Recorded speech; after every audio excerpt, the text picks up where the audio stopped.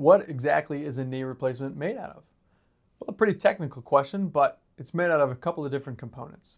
So the metal that we use on the femur is typically made from cobalt chrome. The metal that we use on the tibia is made from titanium.